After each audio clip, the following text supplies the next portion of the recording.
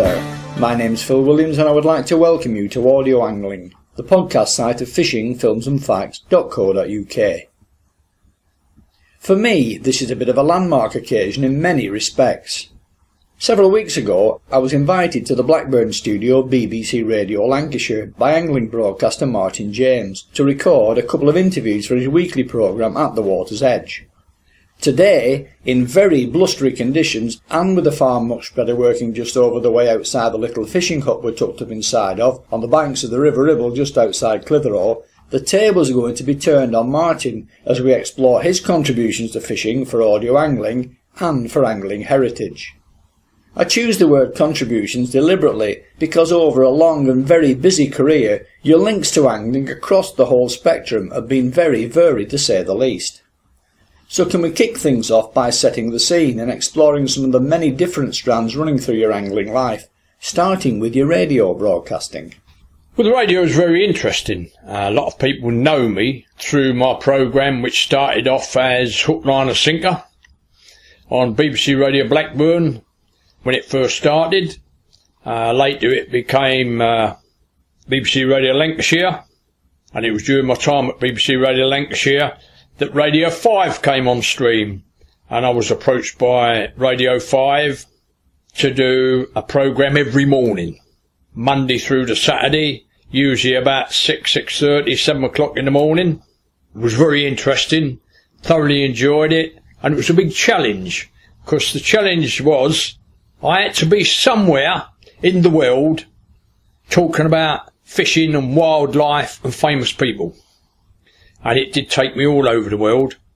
And the presenter in, back in London would say, it's now time to meet that man with more stamps in his passport than Douglas Hurd, who at the time was the uh, Foreign Secretary. And so he said, where are you today, Martin? Well, I could pop up in a little town in Oregon. I could pop up in a little place up in the Arctic Circle. Cambridge Bay, for instance, where you get huge, huge char, 15, 20 pounds, where you're living with the Inuits and you're having a great time. Or I could be in some little village in Sweden. Or over in Ireland down on the west coast, I could be fishing for bass that morning. Or I could be talking to famous people like General Schwarzkopf and uh, other well-known people famous anglers like Lefty Kreh. Probably Lefty Kreh is the greatest angler that the world has ever known. I always felt that it's a pity I could not get Dick Walker and Lefty Kreh together, because I reckon there we would have, have a great working of great minds. And no doubt we would discover new things in angling that would astound the angling world. But broadcasting for me really goes back to the wartime days, really, when I would listen to the wireless in the air raid shelter as the bombers come over at night and drop their bombs and uh, landmines and so forth, and the AT batteries would be going. And there was a, a very famous American broadcaster. And his name escapes me. Murrow was, I think, his surname but he was describing the Blitz for American listeners back home, and uh, I said to my mum one day, I said, what he's describing, I said, is what we're seeing, mother. And so I was brought up on the radio, and after the war, of course, I started listening to other programs on the radio. One was where about a Romany gypsy that roamed around the country, and he'd done these programs, and he'd done a particular program from Romney Marsh, and I wrote to him and uh, I managed to spend a few days with him down on Romney Marsh. I just wrote to him, and uh, he wrote back, and he invited me down, and well, we really never thought of anything wrong in anybody then. If you got an invite to go somewhere, you went. Today, if some stranger invited you to go, you wouldn't go, but I went and I had a great time, and uh, he showed me how to uh, net eels and uh, out to Bedford Eels where used a, a needle and some wool and you threaded the worms under the wool and uh, you just lowered it into the water on an old pole, piece of willow branch most times, and I would catch eels. And this went on then me love of the countryside and the environment for the rest of my life. I was always interested in conservation, always interested in helping other people. I was about ten years of age when my grandmother said to me, she said, I'd like you to get involved with some charity work with me and the other ladies from the church for Dr. Barnardo's. And I, I said, well, what's Dr. Barnardo's? And she said, well, they're people that have lost their parents. And I thought that was very apt because I'd lost my parents in the war out in the Far East through the Japanese. I'd lost very, well, quite a few members of my family through the war, either uh, killed in foreign parts or killed by bombs in this country.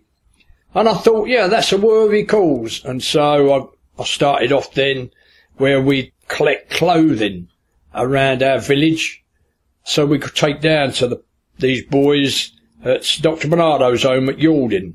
And there was another bonus for me, though, is that Dr. Barnardo's home was on the banks of the River Medway at Yalding, and they got the whole of the field going down to the river, and I managed to get permission to fish there. So while my mates were on the other side, Maidstone Victory Angling Club side, where lots of anglers were, I was on the other side with one or two mates, fishing in seclusion. And of course, you always think the grass is greener on the other other side of side of the river or the field. And so that's how I started off in charity work. Then I joined the Army Cadets. Well, I first joined the Navy Cadets, but I didn't like them big flapping bell-bottom trousers. So I decided I didn't want the Navy Cadets. So I joined the Army Cadets, and there I had a great time. Been in there a year, and then we went to Landguard Point in Felixstowe, up in Suffolk. The regular army camp went for a fortnight. I remember we was in these bell tents the first night and we had these boys crying, oh, I want me mum, I want to go home. And I thought, what a load of pansies. The following morning, Lieutenant Colonel Higgins come round with his entourage of officers and the Sergeant Major and said, uh, everybody all right? And most of us said yes.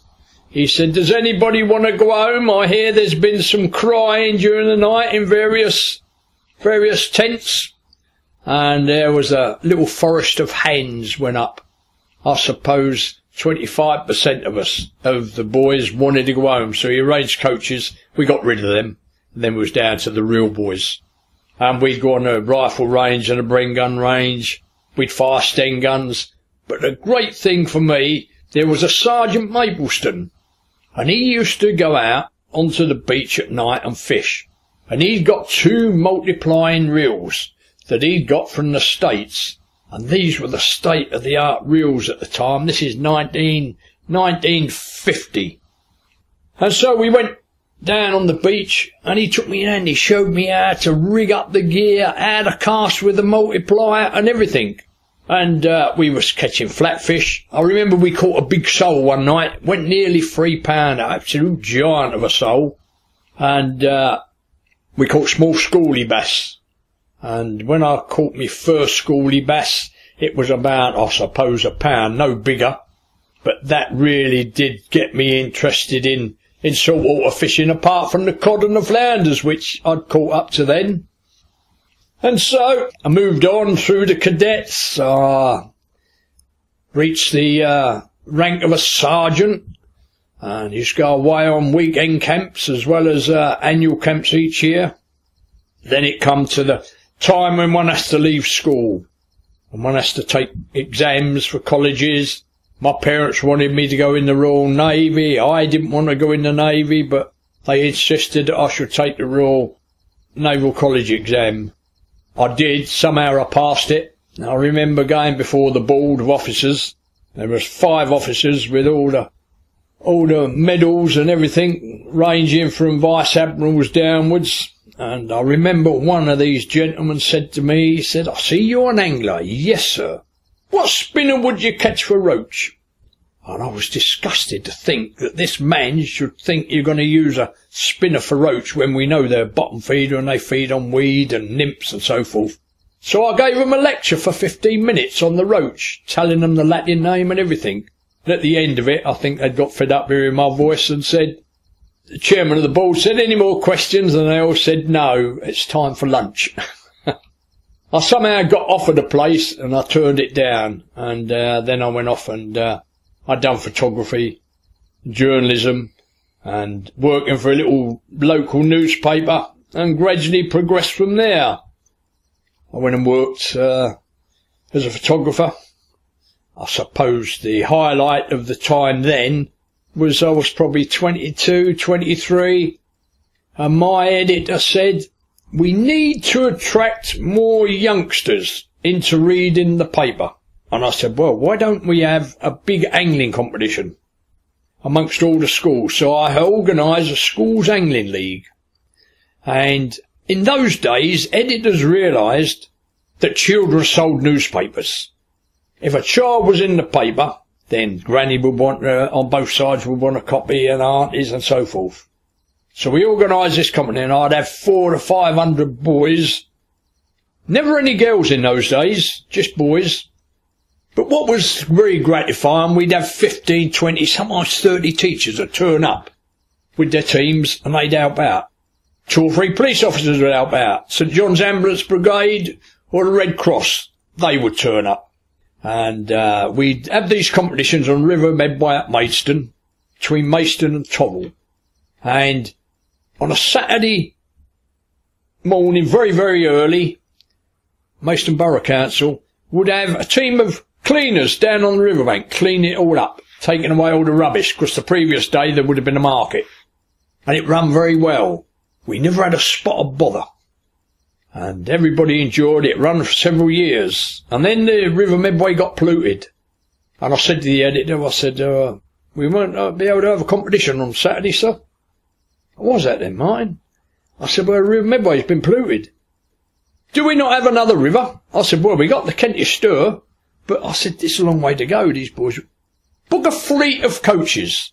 And we had a coach company in, uh, in Chatham called Pilchards. Very apt name, I thought, for a coach company going to take a group of anglers out. And so we booked a fleet of coaches and we took them off down to the Stour and they caught fish. And that's what we had to do after that. Didn't cost the boys anything. The papers paid for it. And it ran very well. And during the weeks uh, leading up to these competitions, I'd go around all the schools. And then all the boys that were interested in fishing, they'd come into the main hall and then I'd give them a talk about how the league was going to be run. And I'd show them a few pictures and so forth. And explained these are the rules and these are what we have to fish by.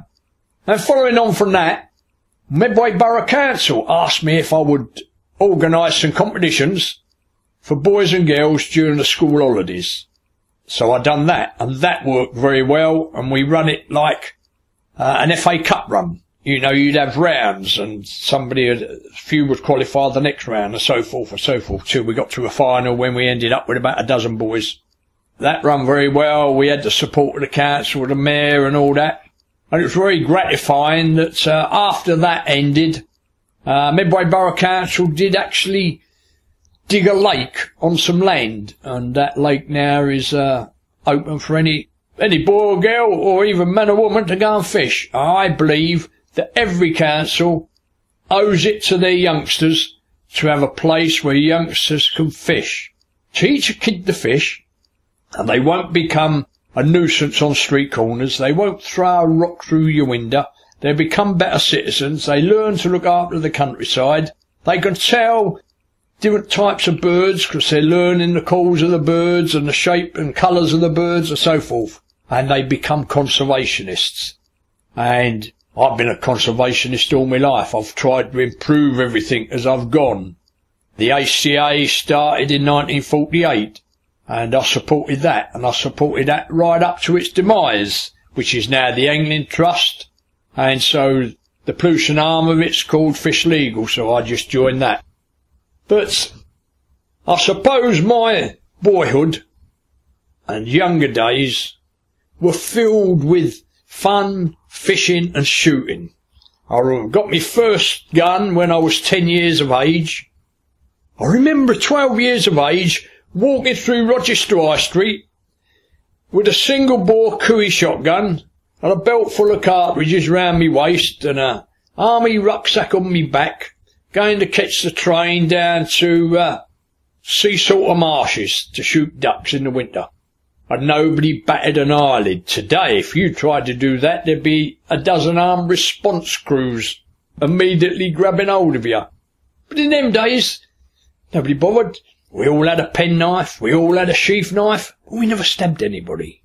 We used them for what they was meant to be used for, for wilting things, for gutting things. If we wanted, got a rabbit, you shot a rabbit, the first thing you do is got to paunch it, so you wanted a good penknife. And, uh, there were times in, when we was at school, summer holidays, we'd go off down to the river camping for a week. Our parents didn't worry about us. They knew we'd be safe. I think the only thing my parents ever said to me when I was like, before I was about 11 was, if I went off fishing, I had to be back before it got dark. But apart from that, no problems at all with it. I was still allowed to go night fishing, but I had to go with an adult then days. And I used to go out on Cliffe marshes and catch wild carp, wildy type common carp. They weren't true wildies, but they looked like wildies and there was common carp, and they was three, four, five pounds. A five pound was a big fish, it was a giant fish. But we'd fish pieces of floating crust and bread flake, and we caught our fair share of carp. And carp fishing actually took over my life as regards fishing for several years. Uh, started out there, we wanted to catch carp. I remember one campaign, uh, four of us made, was using boiled potatoes, fishing a still water. And if you read all the books of old, they said parboiled potatoes. What a load of poppycock that was, because there's no way you could pull a hook through a parboiled potato. And bear in mind, in the old days of carp fishing, there was using treble hooks. So there'd been three times the power you would need to pull that treble hook through the potato. No, you needed soft boiled potatoes. And so we baited up this lake with five, six, seven pound of potatoes every night from the first of April, right through the season. If we were at college, somebody else would go. Whoever was not at night school and that would go out and bait up. And it was quite outstanding that we'd be at the waterside there in late April and we could pick up some stones and chuck the stones in the water and we'd watch the carp appearing from all corners of the lake down to the area where the stones are. They'd got so used to the sound of potatoes going in, it was like a dinner bell. And I remember the first night of the season, June the 16th, was a Friday. And I'd said to my tutor, could I have the day off, sir? What for? I said, well, it's the first start, day of the fishing season. No, you will be in here. He said, you can go fishing the weekend. So I wasn't allowed off, but some of my mates did manage to get the day off, and they went up on the Thursday, and they started at midnight, and they fished through through Friday. Never a bite. I turned up about seven o'clock Friday evening. What you caught? Nothing. Has anybody caught nothing? Oh, the man over there's had a ten and a half pound leather carp uh, on a bit of floating crust, but nothing. Have you seen any carp? No. No. So I tackled up Heron bite indicators, Mark IV carp rods, all the Walker gear like, you know, we was disciples of Walker. He was our leader. He was the man that we looked up to. He was our role model. And, uh, we fished all through that Friday night, all through Saturday. Nothing. Saturday evening about six o'clock, I said to the lads, right, we're going to have dinner. Yeah, right. Let's have all your food and I'll get cooking. So I made a big fire and I got the big skillet out and I cooked eggs and bacon and beans and sausages, all the stuff you like when you're a boy. And we had our dinner and a few mugs of tea and then we went back to our swims and were sitting there and sitting there. And then I said to my mate, I said, do you realise, Billy, I said, the smell of water mint? Oh yeah, said, it's strong, ain't it? I said, we're going to catch tonight. I always felt if I smelt the water mint, the fish were going to feed. Don't ask me why, just one of those things. Anyway, midnight come, still hadn't had a bite. None of us had a bite. And I said, well, what's happened? What's happened to all these carp? You said we put lots of potatoes in and we catch them. And I said, don't worry, we will. At 3am, dead on 3am in the morning, the silver paper went up to the butt ring. I struck. I hooked the first carp. And as I'm playing it, the, my other rod went. So I laid the first rod down, opened the bar alarm, struck on this other fish, and then played that out, and then played the second out. And there, suddenly, I've got two double figure carp between 10 and 11 pounds.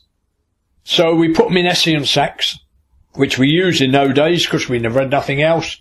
But thankfully, we never ever lost a carp through being in a Hessian sack. They all did live. And between then and 8am in the morning or 8.30, I had 13 double figure carp. The best was 12 and a half pound. It was unheard of in those days to catch this number of double figure carp in a session. And my mates had to go round and borrow sacks off of other anglers like. And then the club up would be unlocked at nine o'clock. So we was able to weigh our fish then and put them in the book. And we would weigh them on shopkeeper's scale was the big brass pan where normally it'd be used for weighing out five pound of potatoes and things like that. And we weighed our fish and then we released them back in the lake. And to the best of our knowledge, they swam off strongly. I don't think, well, we never ever saw a dead carp, so it didn't do them any harm. And then, uh, we got a bit further forward and, uh, carp fishing. I wanted a 20 pound carp. And I was down in a, a milk bar one night with the lads and, uh, they was talking about going bowling. And I said, no, I'm not going bowling. I'm going fishing. Ah, come up on, bowling alley. Nah. And I had this girl with me like, and she said, we're going bowling. I said, no, we're not, love. We're not going bowling. I said, I'm going fishing. And there was a record at the time, Bye Bye Love by the Everly Brothers. So I went and stuck a coin in the jukebox, picked it out and played it. And as I walked back to her, I said, Bye Bye Love, just listen to the music. I said, I'm off carp fishing. And the lad said, you can't do that. I said I can. I can get a girlfriend any day, but I can't catch a twenty pound carp, and I feel that I might get one tonight. And I did. I had a twenty pound carp, so it was well worth it. But in between course fishing, I, I also done sea fishing. I love sea fishing. All round the Kent coast, I reckon we had the finest sea fishing available anywhere in the United Kingdom in those days, the 50s into the early 60s.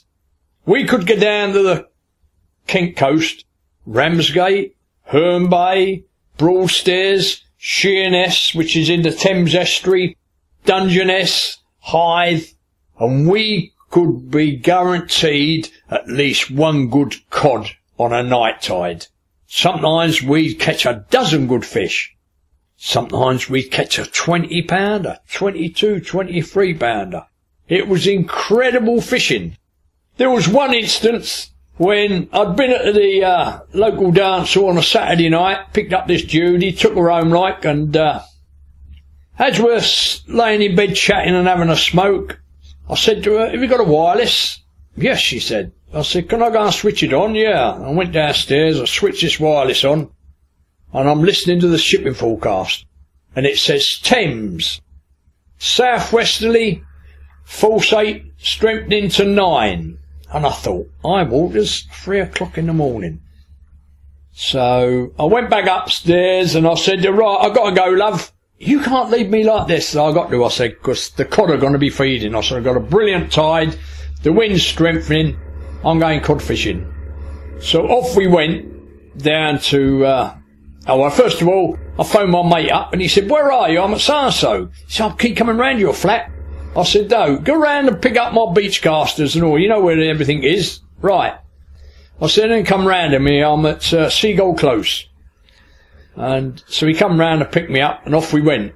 And we went out and we had quite a few. And I had my first £20 cod that night from, uh, from the beach.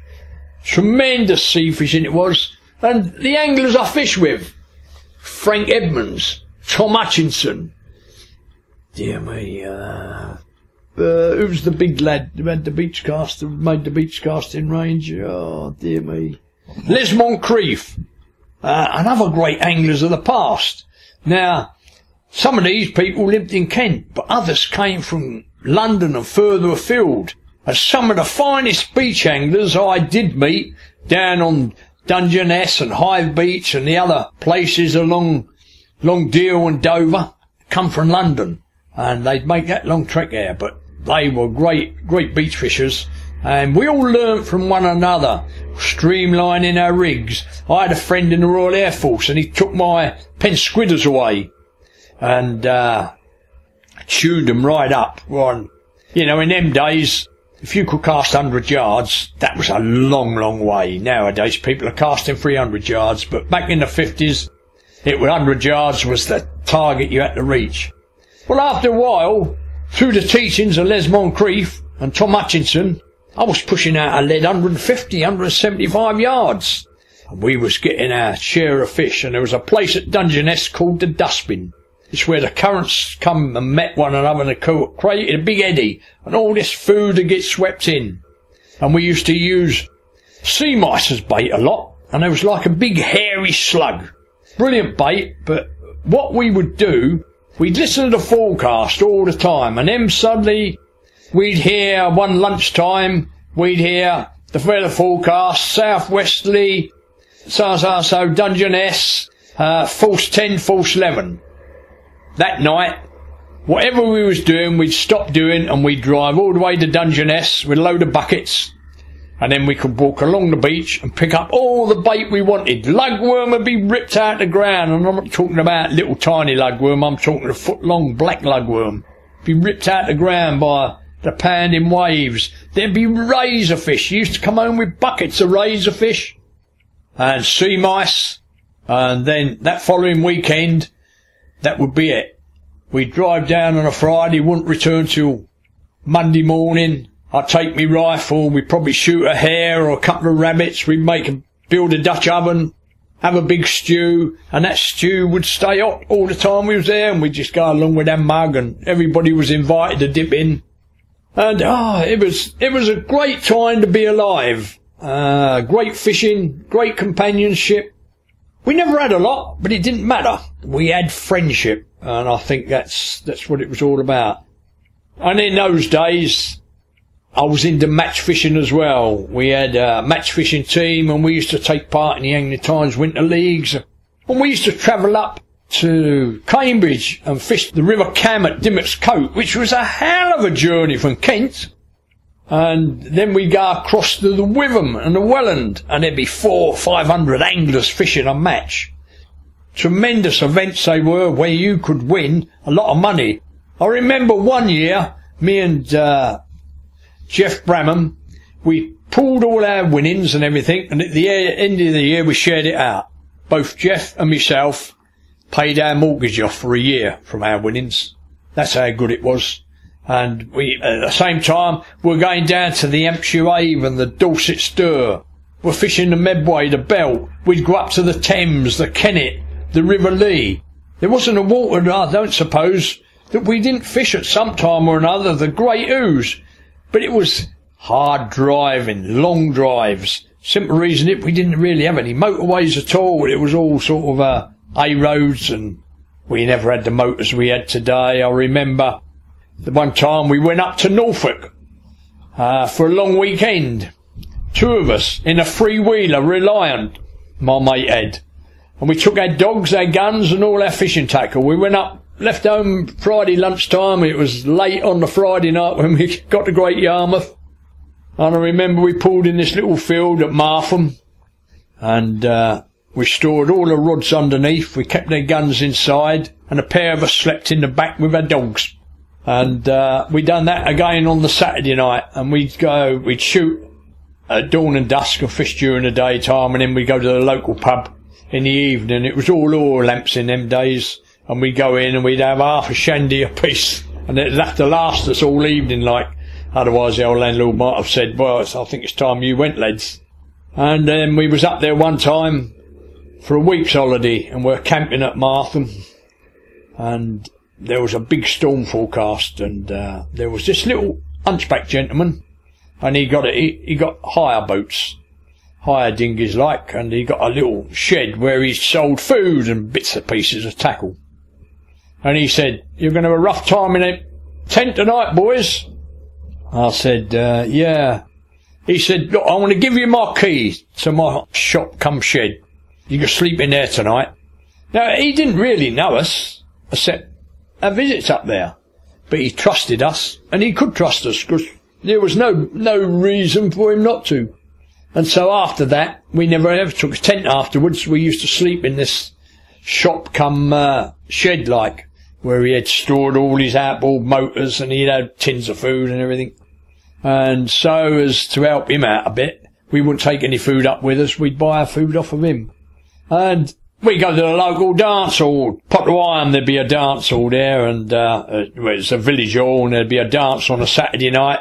Well, us lads from London, aren't we? A bit of a bee's knees up there with their teddy boy suits and all the rest of it. So we'd go off there and we'd have fun. And I remember Tony Howe. He met a girl there and eventually married her. And uh, to this day, they're still happily married. I don't know how it lasted so long for Tony, but I did notice Tony not un, not like us. He didn't fish so much. now, in those early days, as you've already mentioned, your journalistic involvement was done at a fairly local level. But as we all know, it didn't remain that way.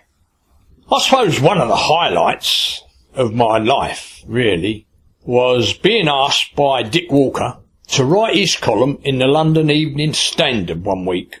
And I said, I can't do that, Dick. Yes, you can, he says. Just write it as if you're writing a letter to your best friend how to fish for big bream in the southeast.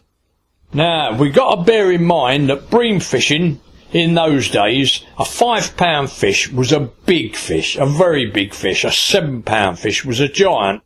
The record was twelve pounds something from uh, Castle Lake in Kent.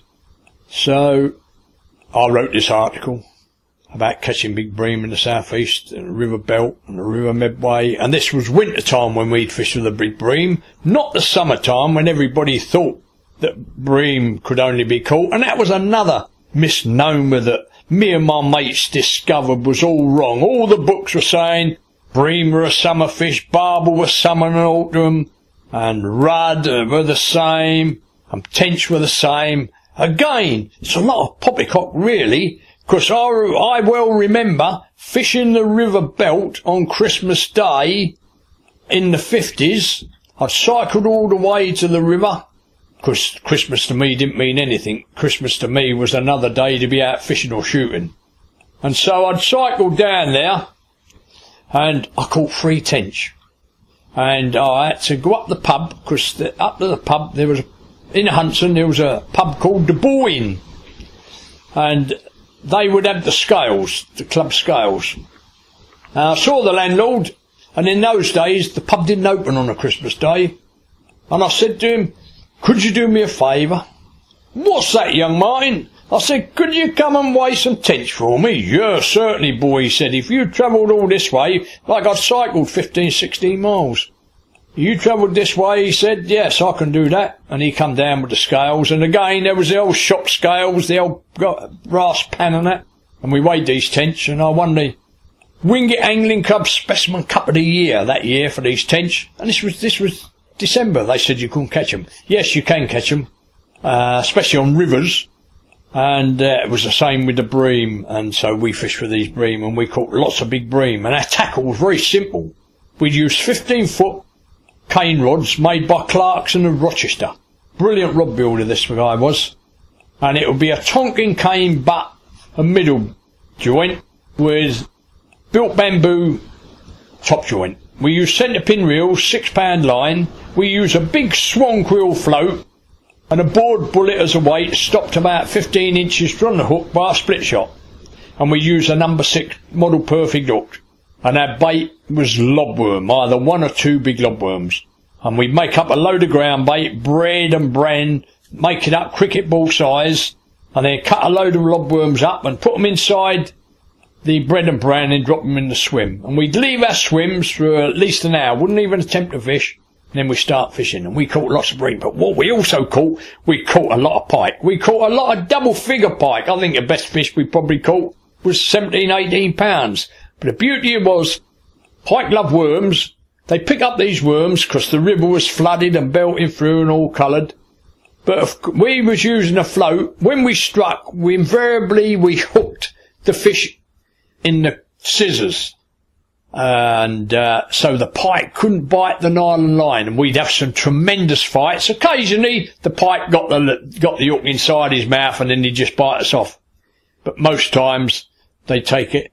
We also caught a lot of big perch the same way. We'd be fishing these lobworms, and a big perch come along, two, two and a half pound, which were real big stripers in them days. But yeah, so I wrote this article in London Evening Standard. I remember it being published, and uh, it was in also in the local paper had published it as well. And there's a picture of me, and I'm going up the dance on a Saturday night, up the pavilion at Gillingham, and uh, the girls were coming across. See your picture on the front of the paper, mine. I said, yeah. Cool. You're writing for the London papers now, then. And the London Evening Standard in them days, like, was selling seven or eight million copies a night. And I said, yeah, but it was a wonderful chat up, chat up talk for the girls. so, uh, at the same time I was writing for Chatham Rochdale News, the Kent Messenger group of newspapers. Uh, I was writing for different newspapers in South London. And, uh, I was doing a bit of stuff for the Angling Times. And I'd done a little bit of stuff for a Fishing Gazette and the Anglers News. Then uh, the Anglers Mail hadn't started in them days, and then I started uh, doing a bit of stuff for Anglers Mail. And I remember getting a call from Anglers Mail that a person had caught a 25 pound River Medway carp at Tunbridge. Would I go down and photograph it? So I said, yeah. So I went down there, found this angler, went along the bank where this carp was, and uh, found the carp tethered by a length of nylon line about 50 pound breaker strain through its mouth and through its gill and pegged to the bank. Well, that poor old carp was nearly dead because the nylon line had ripped its gills to bits. I didn't take the picture. I refused to take the picture and uh, the guy was lucky he didn't end up in the river himself and uh, found the nearest phone box, called Anglers Mail and told them, and I said, I'm not taking the picture. And the reasons why, I said, I think we should use the story. Thankfully, they had the common sense to use the story. And so, hopefully that person never ever fished again. If he did, he wouldn't have fished any club water, hopefully. But that was a very, very sad time. But most times when I was called out to photograph big fish, it was it was memorable because you was seeing a big fish in its flesh. You was meeting the angler. You was also you was learning how he caught it and where he caught it from. So that would be locked up in your mind and think, oh, remember that sometime. And then Mail started, and then the, the monthly magazines, Coarse Fisherman, Coarse Angling. Uh, done bits with them over the times, but I've not been such a, a great writer as more a photographer. Though when I did uh, start to branch out, I did do a lot of work in Scandinavia magazines and American magazines. Uh, of course, I've done a lot of stuff for American newspapers and magazines on fishing and outdoor life and wildlife and things like that.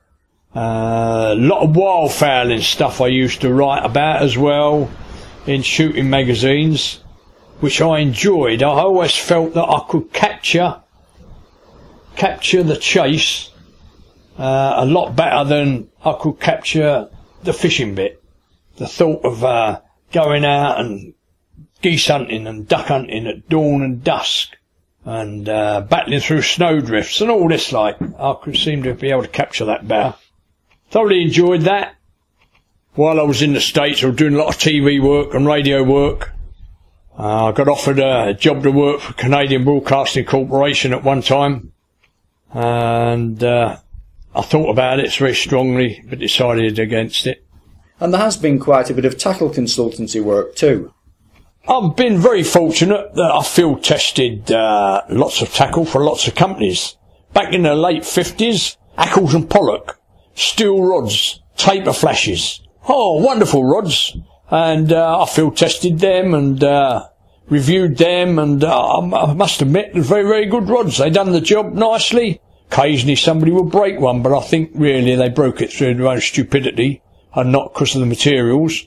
Then I I uh, field tested various Abu products, especially their their multipliers for saltwater f- beach fishing the 7,000, the 8,000s, the 9,000s for boat fishing, but I always felt my Penn Squidders were the top of the tree when it come to my beach fishing until I was given two Abu 7000s. And as soon as I got these Abu 7000s, I realised they were a super reel. And I passed them over to an engineering friend of mine. I said, will you just uh, have a good look at them and tune them up for me? And he did. And I used them reels for years and years afterwards until they were stolen in a big burglary in my house. But they was wonderful reels, the 7000s. I've still got the Abu 5500s and I've got the Abu 6000s, which I still use mainly for my pike fishing. But they was very good. And then, uh, Uh, I was with Grays for a while when Grays were Grays. When Grays made British built rods, where they built the blanks in this country and not in the Far East. And when I was there, I worked with their rod designer, who was a great guy that had retired and come back. And we made a range of rods. We made a big fish float rod. We made a che- what we had called the Chevin, which was a rod designed for four to seven pound lines, which was perfect for roach and bream and tench. And we done a barbel rod, uh, designed for eight to twelve pound lines. And, uh, these rods sold, sold very well uh, they fetch a very good price on eBay today. But I must admit, in my car now, there's a Chevin and two barbel rods. And uh, on one of them rods is a Mitchell 300 reel 1953 version with the butterfly anti-reverse, which uh, I was given by my parents in 1953. I'm still using it. And these rods, probably be 15 years old now, I'm still using them. I see no reason to change. But where I am very fortunate, I believe, is that I was approached by Thomas and Thomas Rod Builders of Massachusetts, Greenfield, Massachusetts, several years ago now, more years than I can care to remember. And uh, how I met them was they were sponsoring the World Fly Fishing Championships, and I was fronting all the television interviews for the various countries taking part in the championships. And what happened was there was one TV crew uh, with me interviewing all the team captains and so forth and covering the events. And during this time, I met Trevor Bross of uh, TNT, and he'd got a little rod with him, and he's, I said, that's a nice little rod, Trevor. He's catching a nice grayling on that. Would you like to try it, Martin? I said, yes, please. And I tried it. And at the end of the week, I gave it back to him, and he said, no, you can keep that. I said, oh, thanks very much. And, uh, 18 months later, I got a call from Trevor, we would like to invite you and your wife over to our factory, Martin, for a couple of weeks. Take you fishing and arrange somebody to take your wife shopping and all that and let you have a look around.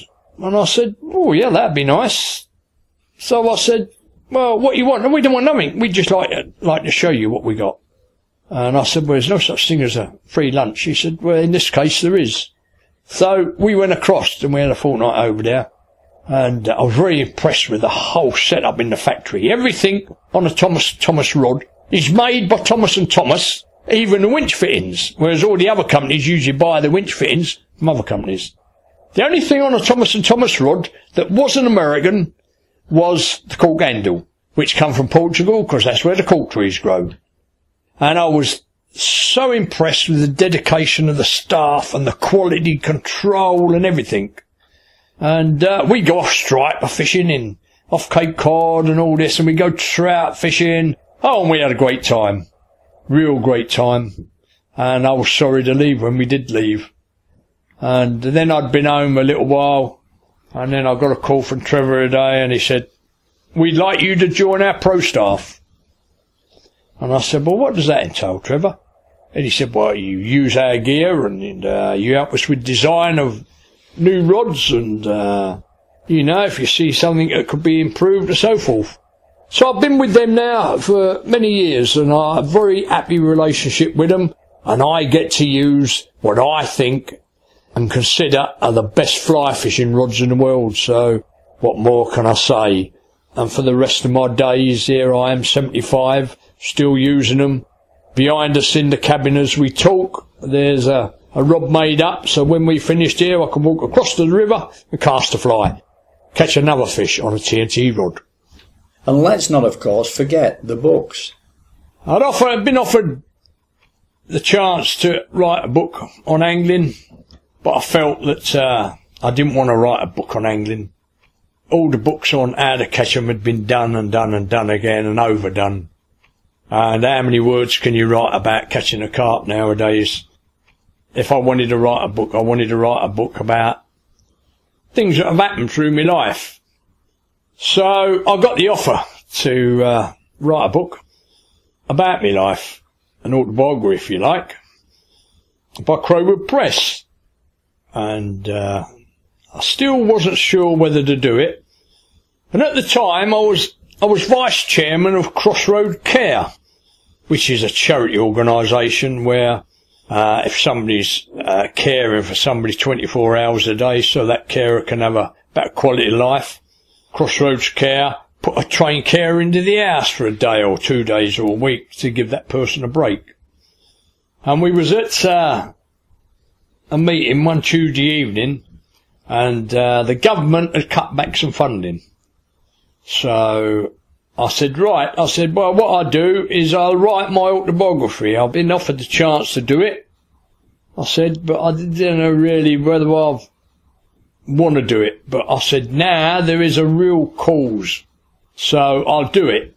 And I remember Lady Clitheroe saying, Martin, you got enough problems as it is, she said, in a wheelchair and all this, and now you're going to write a book. I said, yes, I will. Anyway, Six months later, the book was finished. Nine months later, it was published. And we had the launch in the House of Commons. And a coach, I took a coach load of people down from uh, the Ribble Valley. I chose to take the parents of three mentally retarded children who Crossroads were offering help to. I took two nurses from the hospital when I was first went into hospital and was diagnosed with multiple sclerosis back in the uh, back in the late sixties, early seventies. Can't remember the date. I think it was about 1973. I think I'm not too certain on that. I trace these nurses. I used to attend the Physio Handicap Centre for a couple of years, and I managed to trace the manageress there and her husband, and I invited them. Uh, my doctor come, the local newspaper editor come. Oh, oh, coach load of people. Lady Clitheroe come. And uh, we had a great day out. And uh, the book sold and it raised a lot of money for Crossroad Care. Uh, not only that, it made people aware of Crossroad Care because I had a chapter. The last chapter in the book was the history of Crossroads. So, uh, the front cover picture of that book was me sitting in the middle of a river, chest high waders, fly fishing. And the back cover picture was a picture of me water skiing in Florida. And I'm saying you can be like that one day and you'll be like that another day. So while I was uh, Physio Handicap Centre, it was very good because I was I was doing disabled games there. I was playing table tennis, shot put, discus, and javelin. And when you're pushing a wheelchair around, you build up some muscles. But I was very fortunate. I won a few gold medals in uh, javelin and discus. The shot put that was a bit harder, so I, I, I, won a couple of bronze. Table tennis, I could never ever win a game of table tennis. I'd win the first game, first set, and the other bloke would win the next two. I could never actually win a game. But I used to like it. I sometimes reach for the ball and the wheelchair turn over. They'd have to come and pick me up. And I say, you alright? Yeah, go on, carry on. And yeah, I enjoyed that. And while I was doing that, I'd done another fundraising job. Uh, remember the Physio Handicap Centre wanted members, some of the older members wanted some carpet bowls.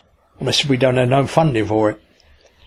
So at a sports club meeting one Thursday evening, I says, you buy the carpet bowls, order the carpet bowls, I'll pay for them. How can you do that, mine? Don't worry about it. I'll sort it out. You just order the carpet and the bowls, all that. So I'd read in the Evening Times a bloke had fished non-stop in a wheelchair for 50 odd hours. Suppose some so-called world record, I don't know what it was, it didn't matter to me. I thought, well, I can beat that. I thought, ah, that's how I raise the money. I'll get sponsors. Let people sponsor me so much an hour. So, we did. Well, I done this sponsor thing, and I fished 80 odd hours. How I done it, I don't know. I, I, Bernie Calvert of the Hollies Pop Group had a, a nice little lake, and he used to let me fish it. And I said to him, could I do a sponsor fishing here? He said, yeah, of course you can, Martin. And it, it worked out very well, and I turned up, and the first day I caught some bream and a pike. And then the weather changed. Cold frosty nights, and here I am sitting in a wheelchair, can't get a bite. Couldn't get a bite at all. Never had another fish over the rest of the time I was there. But uh, the manageress of the uh, Physical Handicap Centre would turn up just after dawn with some hot bacon sandwiches and a hot flask of coffee, and that used to cheer me up. And then the fire brigade or the police would turn up at night or during the day, and then lots of other people would turn up. I think we raised about eleven hundred pound. So they got their carpet bowls and the club got some more funding. So that was well worth it, but I must admit I was a bit shattered. And then I done another sponsored job up on Loch Kenny, Scotland with Andrew Gallagher. Uh, Andrew was a real fit guy. Later he joined the uh, army as an intelligence officer and he was very, very good at his job. But we went up to Loch Ken and we fished for a month and we was uh, being sponsored so much per pound of fish. I think we raised fifteen hundred pound on that trip. We had this caravan on the banks of the loch, and Andrew would wheel me down to the water's edge and get me in a wheelchair into this boat that we'd been loaned. I remember the Daily Express come up to do a feature, and uh, they done this feature of us.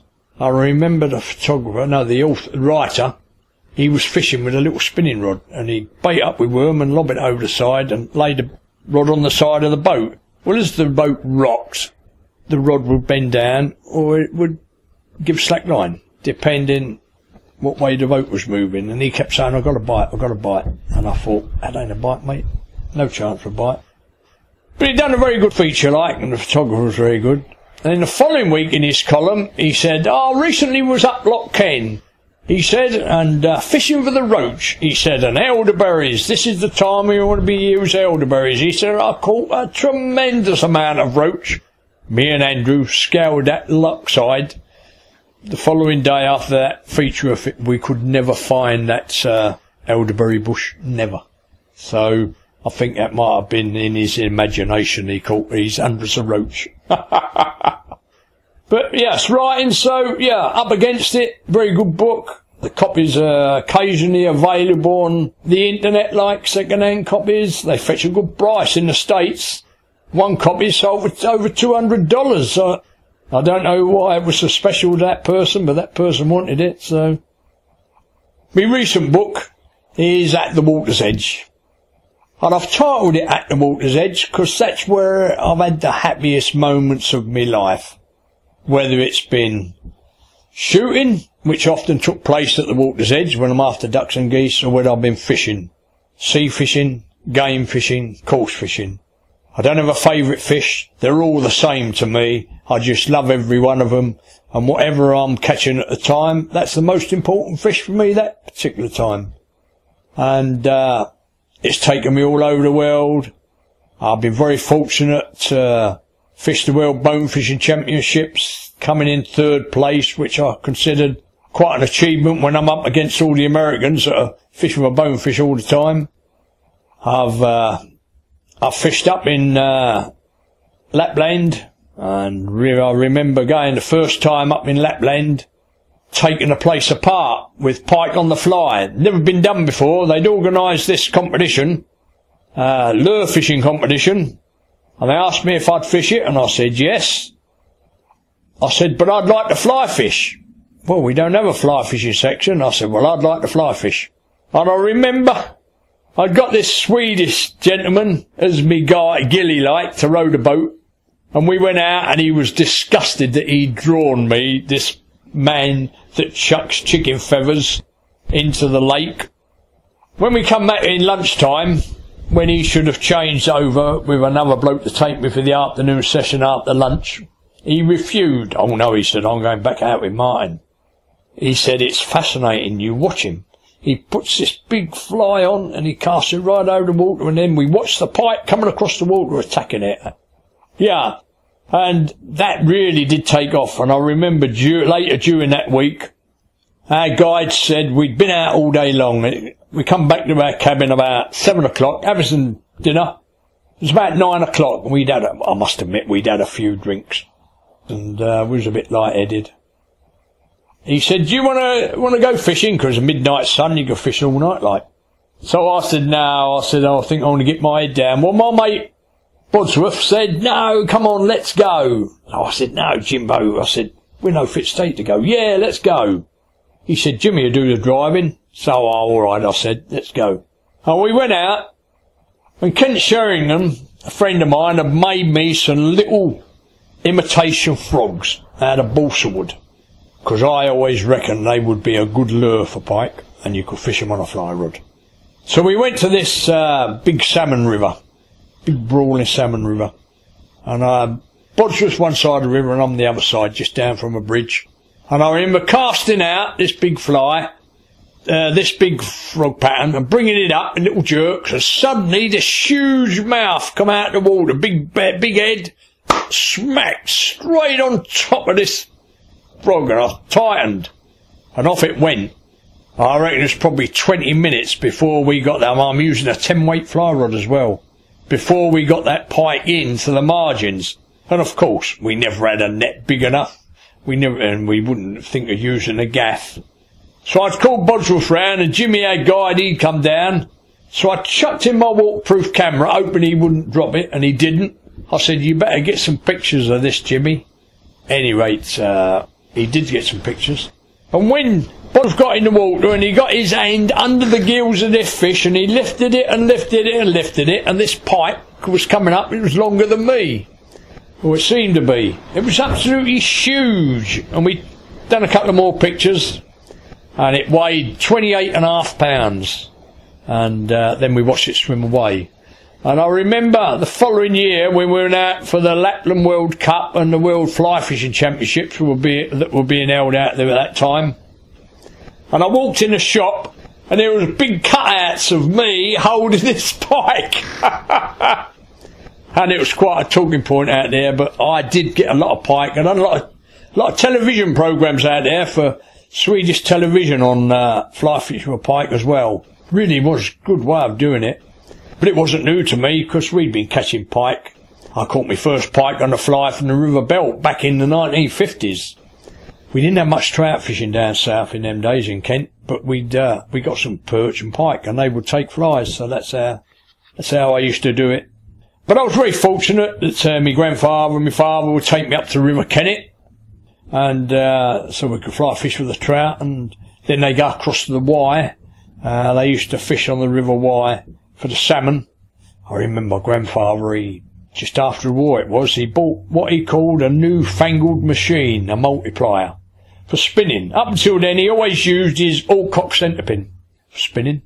And it was a day not suitable for fly fishing, and so he was spinning. And he kept getting birds' nests with this, this multiplier. And I remember him saying to the gilly, these newfangled machines from America, he said they're rubbish. And he took his spinner off, wound the line on it, ran the line back on the reel, unscrewed the reel, chucked it straight out in the middle of the river. And uh, delved in his tackle bag and pulled out his uh, centre pin reel and put that on. And he stayed with that centre pin reel till he passed on. Then I, the centre pins came to me and I use them and I'm still the centre pins today. There's something about a centre pin that you seem to be in charge all the time, especially when you're float fishing. But back to books.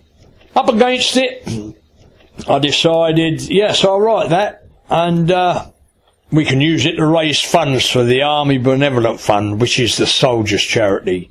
It's very interesting to note that the Soldiers' Charity is to help all soldiers, even going back to the Second World War. Help for Heroes, very good good organisation, raise a lot of money, but the money is being spent on renovating buildings and so forth for injured soldiers. Oh, this is all wrong. That is the government's job to do that. That money that we raise through Help for Heroes, which I've raised through doing sponsored guiding and all that, should be going to the troops themselves and their families, and uh, that's that's a thing that many of us disagree with. And uh, now, as we're talking now, I notice the newspapers have also highlighted this. But the uh, the ABF, that's for all soldiers, whoever they are, and they do a very fine job. So I feel proud to make my little donation, same as I do with Crossroads, and uh, as I do for St Dunstan's for the blind. They're my three charities. I get asked for money from other charities, and I just say to them when they rattle the box, "I'm very sorry, but my charities are so so so." I said I can only afford so much. You know, we can't support everybody, even if we'd like to. I recently read somebody's just won 110 million pounds or something, and I was sitting down the river actually having a sandwich the other day, think to myself, Ryan, if I had that money, what would I do? Oh, I know what I'd do. I'd give two million to the ABF, two million to Crossroads, two million to St Dunstan's for the blind. I'd make sure my children's education was taken, uh, grandchildren's education was taken. I'd make sure my children uh, were taken care of, and so forth. And then I'd probably go travelling around the world fishing. Probably spend a lot of time in the Bahamas chasing bonefish. because your story still has so much which deserves to be said, rather than either trying to compress it during the editing stage or simply skipping over chapters in an attempt to work it into a more manageable size, I feel sure that it would serve everyone's purposes far better if we conclude temporarily at this point and resume the story as a second episode, if that's okay with you.